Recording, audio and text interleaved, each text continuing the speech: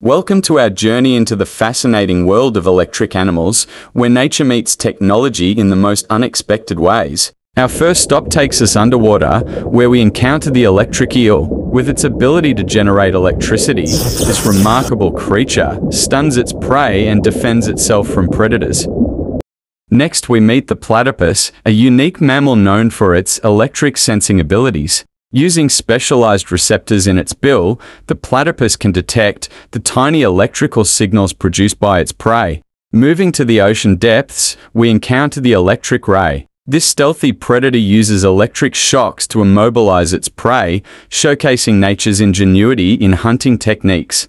In freshwater habitats, the electric catfish reigns supreme. With its electric organ, this nocturnal hunter navigates murky waters and communicates with other catfish using electric signals.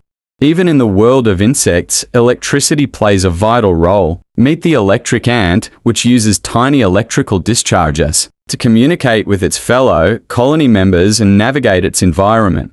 From the depths of the ocean to the heart of the jungle, electric animals remind us of nature's endless creativity. Join us next time as we continue to uncover the wonders of the natural world.